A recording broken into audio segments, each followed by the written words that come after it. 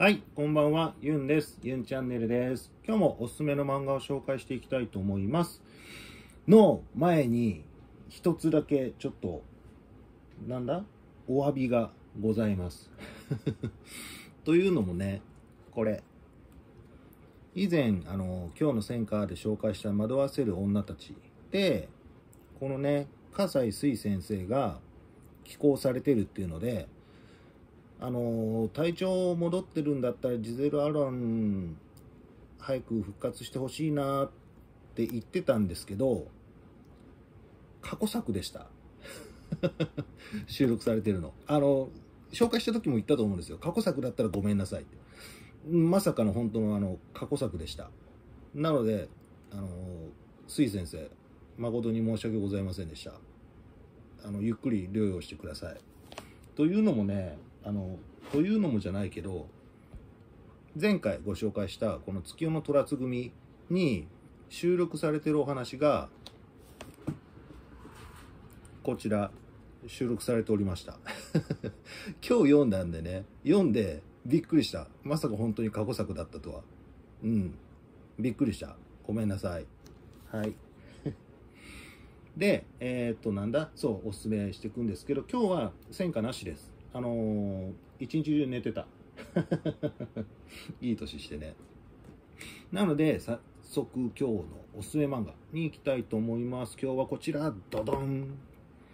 虫師です。これはどんなお話かっていうとこの銀髪の男の人この人が銀子って言って主人公なんですけどがあとこの虫簡単な虫を3つ書いた虫っていう生き物が存在してる架空の世界のお話。で虫っていうのが何かっていうとえっ、ー、と本作のやつをちょっと引用させていただきますね。下等で機械。見慣れた動植物とはまるで違うとおぼしきもの。でそれら異形のものを虫と呼ぶ。とこの漫画の中では定義してます。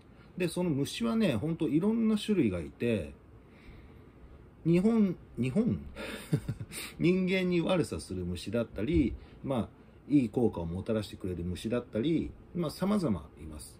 で銀子はその虫を扱う虫師という仕事をしてます。でこの銀子が主人公でいろんな人のところに出向いてで虫を使って治療したりだとかね。してあげる。そんなお話。で基本的には1話完結のお話がたくさん載ってるっていう感じです。一つ事件があってでそれを解決しに行っておしまい。でまた新しい事件があって解決しておしまい。そんな感じ。うん。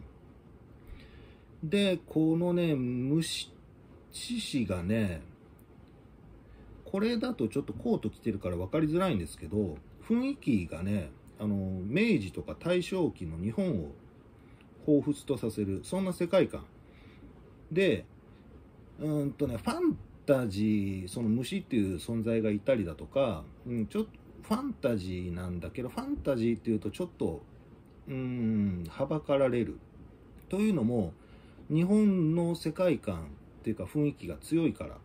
で作者さん曰く今日調べたらねあの作者さんがまあどういうものを目指してたっていうのをちょっと見つけたのでうんとね鎖国し続けた日本。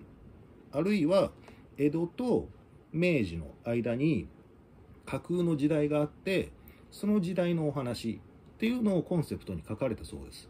なのであのまあ虫っていう存在がいたりだとかね若干ファンタジーなお話なんですけど読んでるとねどことなくねののなんだっけノストラジーだっけ。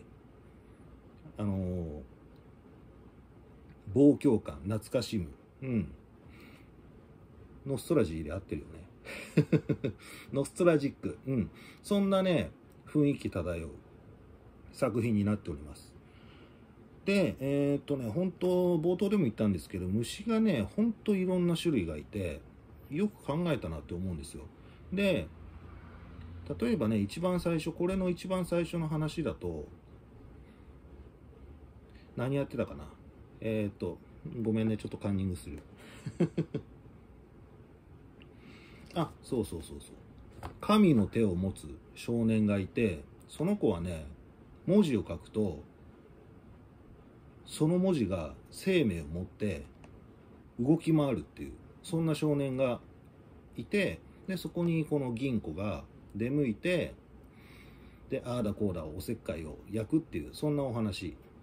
うんざっくりねでこれにね収録されてる一番最後だったかなに出てくるお話なんかは私すごい好きなお話なんですよ。あのー、世界観というかそういったものがねすごく前面に出てる。うん。でね世界観世界観ってうるさいなと思うかもしれないんですけど本当に世界観が独特で味があってでどことなく懐かしさを感じてしまう。そんなね素晴らしい世界観になっております。でねこの銀子っていうキャラクターもいいキャラしてるんですよ。基本的にはそういう、まあ、虫師をやってるんで虫を商売道具にしてあちこち旅してるんですけどでその虫の知識もすごいですしかと思えばねちょっとがめつい面があったりだとかそれはね1話でもちょっと垣間見えるんですけどうんそんなね素敵キャラクター銀子。で銀子ねこれ見えるかな？目がね何色って言えばいいのかな？翡翠色って言えばいいのかな？でこれ片目しか出てなくて片方隠れてるんですけど片目はなくなっちゃってます。というのもこの銀子の幼少期に原因があってそれも虫のせいなんだけどそのお話もねあの何巻か忘れちゃったけど収録されてる。そのお話はねすごく胸に刺さります。うん。是非読んでほしい。でこれねアニメもやってたしで調べたらね実写映画化もしてたらしいです。アニメに関しては私見たことあってあのこのね漫画の雰囲気世界観を崩さずそのまま本当、ま、アニメに持ってけれた素敵な作品でしたのでアニメもねよろしければチェックしていただきたい。実写版の方は知らん 見たことないです。でね基本的にそう人とのやり取りっていうので、まあ、病気なんなりっていうのを治していくんですけどそこにね何だろう情景、うん、過去の情景うん回想か回想シーンっていうのがあの多用されてるそんな作品になっててそれがねまたいい味を出してて世界観をね盛り上げてる。なんだろう。のめり込ませる。うん。そんなうまい手法を使ってます。で虫っていう存在は意味嫌われる側面もありつつ、まあ、日本日本また日本って言ったね私。なんでだろう。人間にね、まあ、益をもたらしてくれる虫もいるんですけどその存在がねすごく美しくて儚い存在として描かれててでまあ命とは何だとかね生命とは何だってまあ同じこと言ってるけどこれ。うん。そういうのもねちょっと考えさせられる素敵な作品になっております。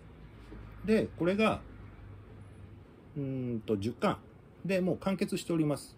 なのでよろしければねあのぜひ買ってほしい。うん。もう完結してるのでこれ以降出ることないので。うん。何か完結したもので面白いの探してるよっていう方にはぜひおすすめしたい。でこれがねあのすごい。試し読み調べたらえっとね7月7日まで。だから明日までなんだけど 3巻まで。無料で試し読みできました。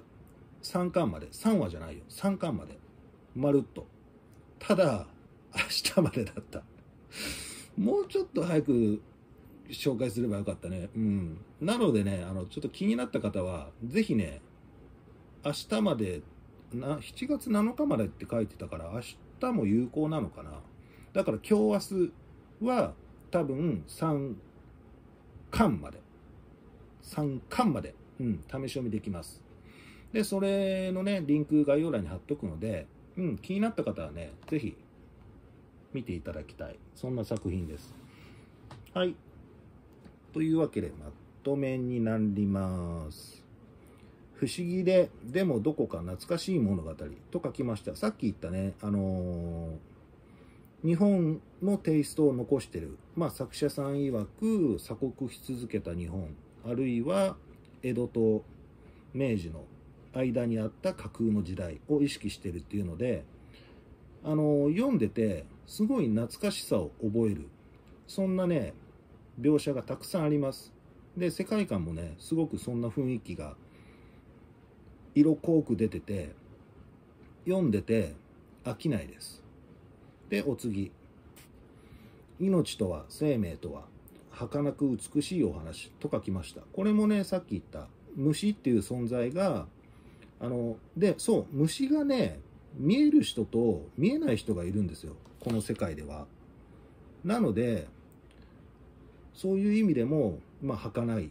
で虫っていうのは一番命の根源に近い生命生命体とされていてだからこそなんだろうさまざまな形がいたりだとかすごいあのミジンコとかねああいう微生物みたいな形のやつがいっぱいいるんですよ。